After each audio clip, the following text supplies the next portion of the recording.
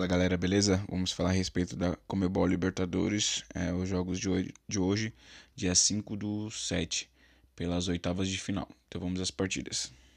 O Atlético Mineiro irá enfrentar o Emelec, vai ser às 19 horas e 15, às 7 e 15 da noite.